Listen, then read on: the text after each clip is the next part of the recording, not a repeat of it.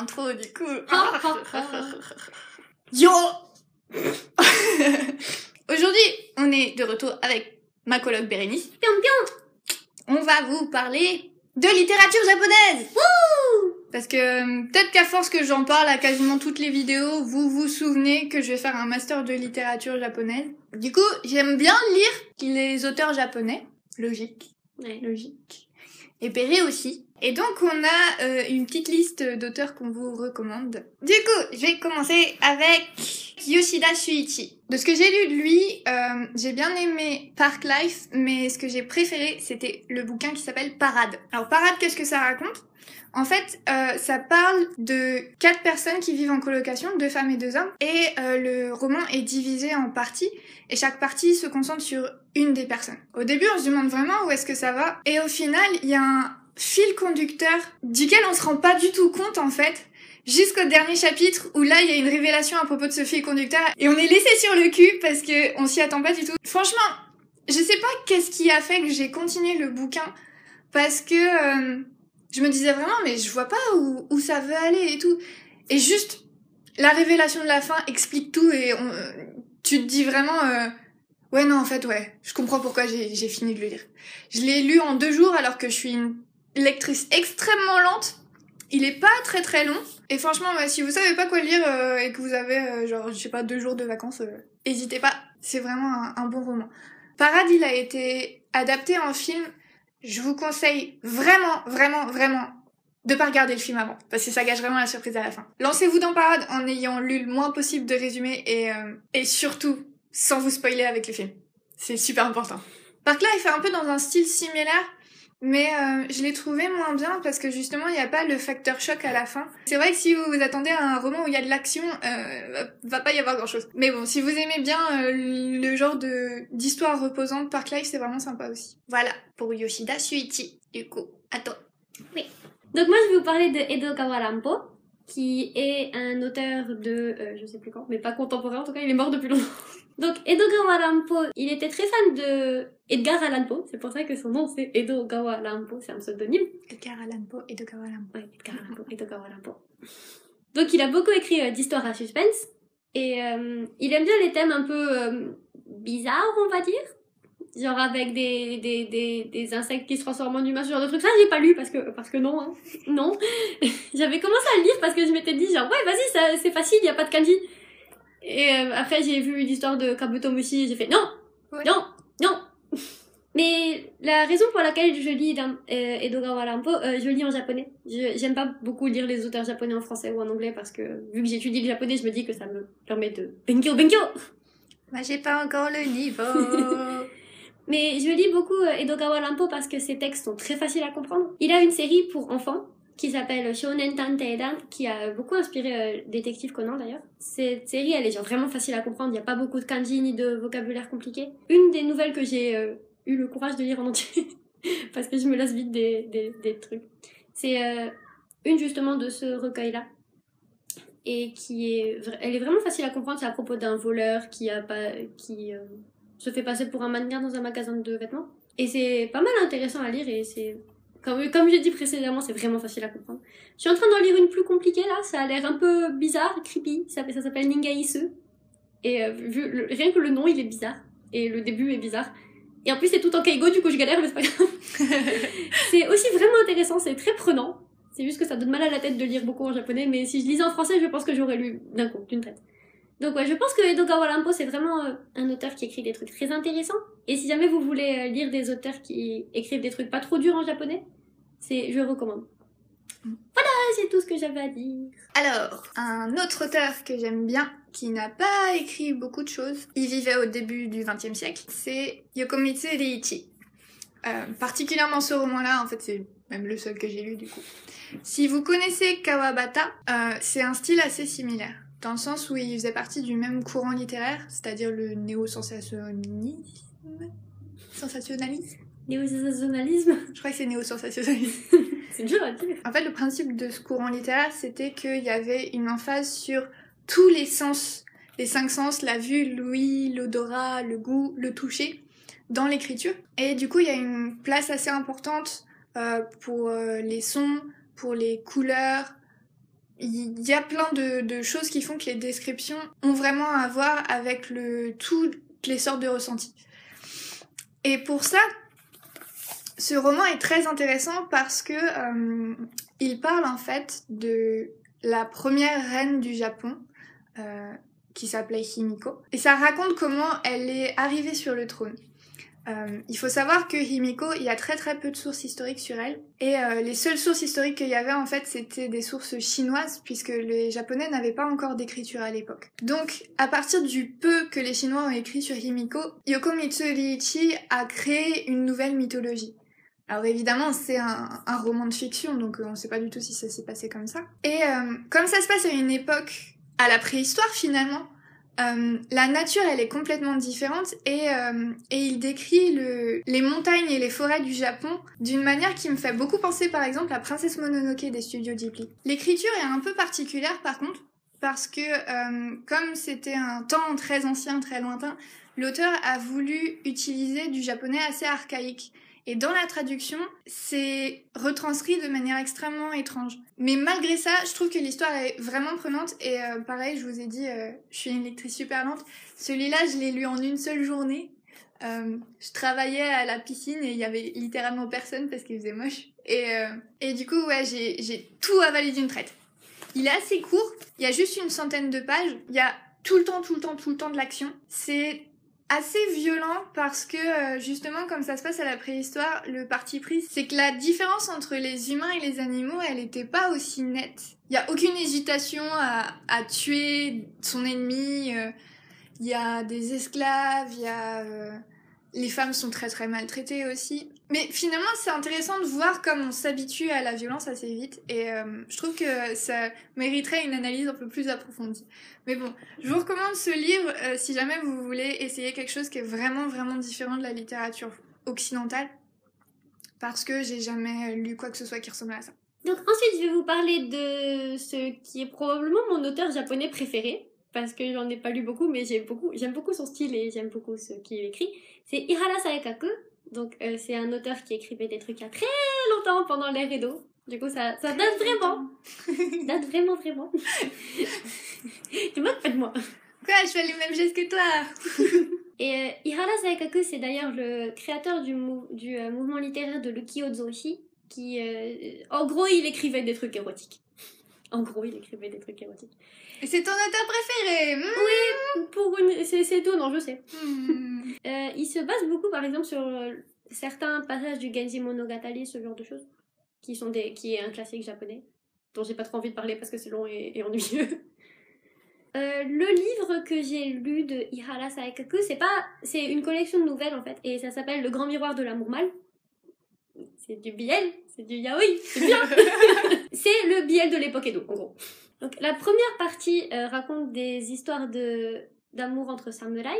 Donc les samouraïs de rang élevé et ceux de rang plus bas, euh, parce que c'était euh, assez fréquent que dans le Japon de l'époque Edo, ils aient des relations sexuelles. Ça s'appelait le nanshoku. Je vous laisse chercher sur Wikipédia si ça vous intéresse.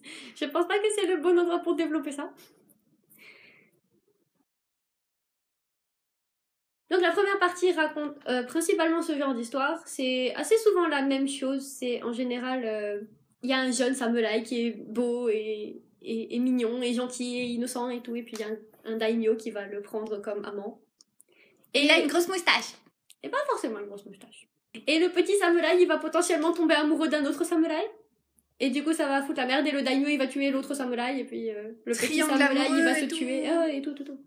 Il y en a un d'ailleurs où ça finit en polyamorie aussi, j'ai trouvé ça plutôt cool. Et la deuxième partie du, du recueil, elle se concentre sur des relations entre des acteurs de kabuki et soit d'autres acteurs de kabuki, soit des clients. Parce qu'à l'époque Edo, euh, les femmes n'avaient pas le droit de faire de kabuki. Parce que il y a eu un moment où c'était autorisé, mais ça, comme euh, il y a eu beaucoup de prostitution à cause de ça, le gouvernement a décidé d'interdire aux femmes de faire du kabuki pour éviter la prostitution. C'était pas la solution. C'était pas la solution parce que du coup après ils ont pris des garçons qu'ils ont déguisés en filles pour faire du kabuki et puis du coup c'était les garçons qui se prostituaient. Du coup après ça s'appelait des onnagata Du coup, après, ils ont interdit les Onagata, mais ça n'a pas marché non plus parce que bah, ils continuaient à se prostituer quand même. Donc, bon. Les nouvelles de Saikaku se passent du coup pendant qu'il y avait encore des Onagata, donc des garçons déguisés en filles qui faisaient du kabuki. Il y a beaucoup de nouvelles sur euh, avec ça et c'est très souvent genre l'acteur de kabuki, il est parfait, il est euh, élégant et tout, et puis il est c'est un très bon acteur et tout. Et puis il va y avoir un client qui va tomber amoureux de lui, mais leur amour va être impossible parce qu'il faut que ce soit un peu dramatique quand même. Et du coup, il y en a forcément un des deux qui va mourir. Il meurt toujours. Il meurt toujours, par contre. Dans les... Je sais pas s'il y a une histoire de Sakaku où il meurt pas ou ça finit pas de façon tragique. Euh, il y en a une particulièrement qui m'a un peu euh, fait rire, marqué, je sais pas trop. Euh, c'est en gros un acteur de kabuki qui est très joli, genre il est beau comme une fille, c'est dit dans le livre. Et il traîne souvent avec d'autres jeunes filles de la noblesse.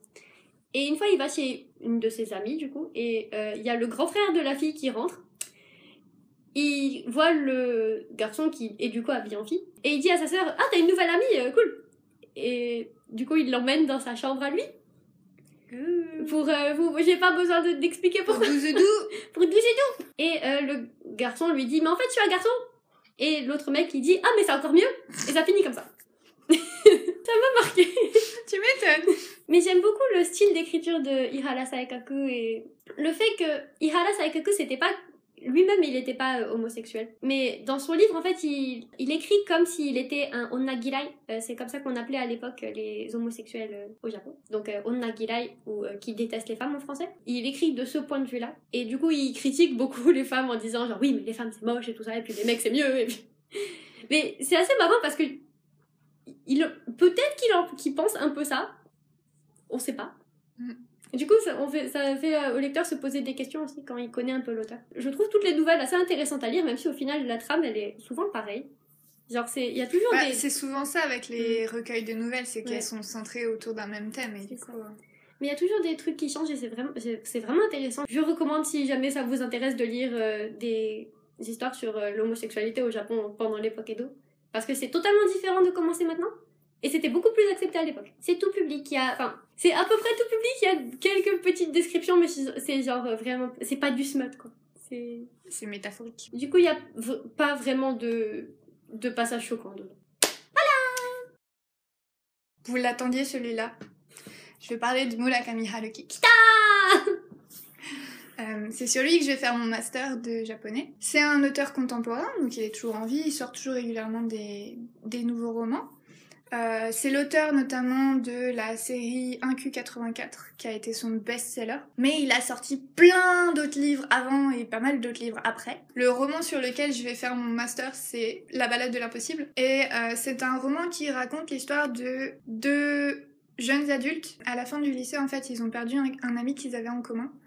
Et euh, ça parle de comment ils se remettent du deuil euh, de leur ami. C'est un scénario de base qui est euh, extrêmement bateau. Mhm. Mais c'est la façon dont c'est écrit et la façon dont c'est développé qui fait que euh, c'est intéressant.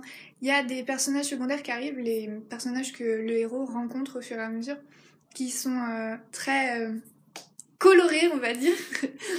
Il y a même une héroïne qui s'appelle Midori. Du Oh. colorée indeed. Indeed. On arrive tellement à se mettre à la place des deux héros que c'est impossible de pas avoir de l'affection pour eux, même si on n'a pas forcément vécu des choses en commun.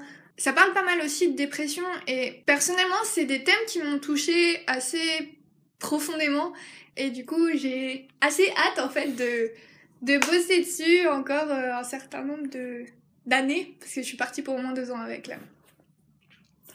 Murakami Haruki, c'est un auteur qui écrit aussi pas mal de nouvelles. En fait, souvent, ce qu'il fait, c'est il écrit des nouvelles et à partir des nouvelles, quelques années plus tard, il va en écrire un roman. Il fait pas ça avec toutes les nouvelles, évidemment. Euh, une nouvelle que j'ai bien aimée, et en plus, l'édition du livre est super jolie, euh, c'est euh, L'étrange bibliothèque. C'est extrêmement bizarre. C'est du fantastique, mais du fantastique qui fait un petit peu peur. Ça raconte l'histoire d'un garçon qui allait à la bibliothèque pour rendre des livres.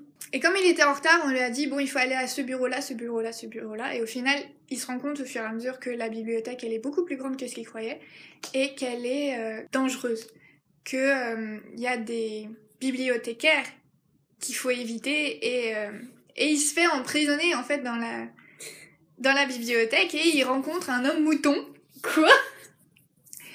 Et, euh, et au final, il, a- il essaye de s'échapper avec l'homme mouton. Et donc je vous dis pas la fin parce que du coup, comme ça vous aurez envie de les lire. Il y a de la drogue, Murakami Je sais pas. Je sais pas, mais il a une imagination fertile. Donc voilà, on a un peu les deux sortes dans l'œuvre de Murakami. On a du fantastique, mais on a aussi du réaliste. Je pense que La balade de l'impossible, c'est un de ses romans les plus réalistes. Et mon roman préféré de Murakami, c'est un roman qui est pile entre les deux, en fait, et qui s'appelle Kafka sur le rivage. Il est divisé en deux parties. C'est l'histoire d'un côté d'un garçon de 15 ans qui s'appelle Kafka et qui décide le jour de son anniversaire de fuguer. Et dans la deuxième partie, on suit Tanaka, qui est un vieux monsieur euh, qui a des retards mentaux, qui parle au chat. Chaque chapitre, en fait, s'alterne de points de vue.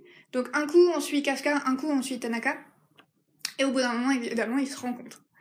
Euh, ils vont dans le Shikoku tous les deux pour des raisons complètement différentes. On suit du coup euh, les déboires de, de tous ces personnages. Ce qu'il faut à Kafka pour réaliser son destin, parce que c'est vraiment ça, en fait, l'intrigue de l'histoire. C'est faire la paix avec ses parents. Et du coup, il y a une dimension euh, oedipienne assez forte. Et donc, la conclusion du roman fait que le monde du rêve et le monde réel se fusionnent pendant un temps. Et euh, c'est quelque chose qu'on retrouve vraiment souvent dans l'œuvre de Murakami, le, la disparition des barrières entre le monde imaginaire et le monde réel. Et c'est un moment très émotionnel et vraiment très beau et onirique aussi. Et j'en garde un excellent souvenir. C'est encore une fois un roman que j'ai lu pendant que je travaillais et qu'il y avait personne au musée où je travaillais. Et je me souviens quand je finissais le, roman, je l'avais lu sur ma Kindle d'abord. Et je voyais, à chaque fois que je tournais les pages, le décompte des pages diminuer et j'étais genre, non, je veux pas que ça finisse! Et ça, à chaque fois que je lis un livre, je compatis. Mais bon, voilà, du coup, pour Murakami Haruki. À ne pas confondre d'ailleurs avec Murakami Ryu, qui a écrit des choses complètement différentes. Euh, c'est un bon auteur aussi, mais comme j'ai pas lu personnellement encore, euh, je vous, je peux rien dire dessus. Et aussi, évitez quand même si vous êtes trop trop jeune, parce que euh, ça risque, ça risque pas de vous choquer. Il n'y a pas de pornographie, je veux dire. Ils égorgent des chatons. Ouais, c'est l'un des trucs les plus trash. Mais c'est surtout ça risque de vous mettre mal à l'aise en fait parce que euh, ils évoquent le sexe comme étant une partie de la vie, euh, comme étant quelque chose de normal.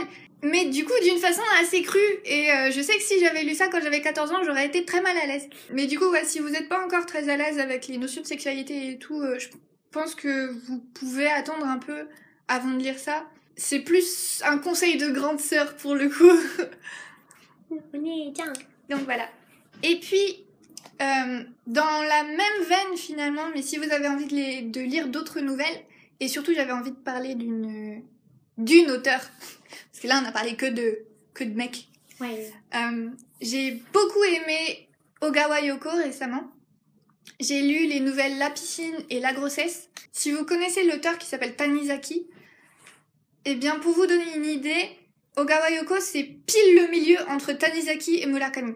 C'est dans le sens où Tanizaki, il aimait aborder des thèmes euh, assez pervers finalement. L'année dernière, on a dû lire pour le cours de littérature Un amour insensé et c'est vrai que bah ça, du coup, si vous êtes ado, je vous le déconseille fortement. Déjà, vous allez pas aimer. Et puis, euh, pour le coup, vous mettre mal à l'aise, ça c'est sûr. Donc, pourquoi Ogawa Yoko, c'est entre Tanizaki et Murakami? C'est parce qu'elle prend du coup ces idées-là euh, à Tanizaki mais elle prend le style d'écriture de Murakami, c'est-à-dire un, style d'écriture très simple, très fluide. Même en japonais, il n'utilise pas des mots compliqués, et c'est un truc d'ailleurs qui est très bien transcrit dans les, dans les traductions. Mais c'est pas pour autant que c'est pas poétique, et qu'il n'y a pas quand même une recherche de, de style et un, un lexique euh, intéressant. Et du coup, voilà, Ogawa Yoko, elle mixe les deux, pour principalement des nouvelles, écrites à la première personne, en général par une narratrice euh, qui est une femme. Et ce que je trouve intéressant, dans, en tout cas dans les nouvelles que j'ai lues, c'est justement le côté malsain dont j'arrête pas de parler. Parce que euh, la narratrice de Gawayoko, de manière générale, dans, dans un peu toutes ses nouvelles, elle a une analyse extrêmement fine de ses propres actions. Donc elle est toujours en train de psychoter en fait. du coup, on peut facilement se dire au début, quand on commence la nouvelle, que bah ça va ça va être quelqu'un qui se remet en question, euh, que ça va pas être forcément euh, quelqu'un d'horrible, quoi. Parce que quand on analyse à ce point-là son comportement, logiquement, on fait un peu des efforts. Bah non et, euh, et les narratrices sont capables de faire les pires exactions du monde, et euh, de les raconter euh, comme si c'était euh, comme si c'était la météo. et c'est hyper intéressant du coup de voir que c'est pas la narratrice qui crée le fait que c'est malsain, mais toutes les descriptions autour.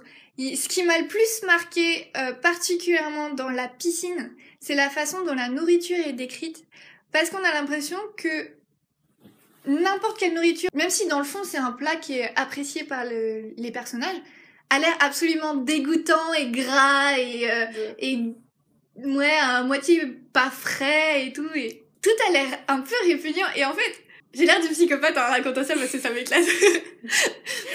Mais c'est ça qui fait l'intérêt de la nouvelle, c'est le côté... Bah, C'est dégoûtant. C'est un peu Le comme... côté euh, blah. quand je finis une nouvelle de Gawa Yoko, ça me fait un peu le même effet que quand je viens de prendre un, un shooter d'alcool. C'est-à-dire que, première sensation, c'est Ah, mais c'est dégoûtant. Et puis après, on se dit, ouais, mais quand même, c'était bien. Et on en reprend un autre. C'est exactement ça. Du coup, voilà pour toutes mes recommandations. Euh, J'espère que ça vous intriguera, que ça vous donnera envie de lire. Et puis, euh, si vous avez d'autres recommandations, n'hésitez pas dans les commentaires parce que, évidemment, j'ai envie de lire plein de trucs. Et je vous revois dans une prochaine vidéo. Salut Bye bye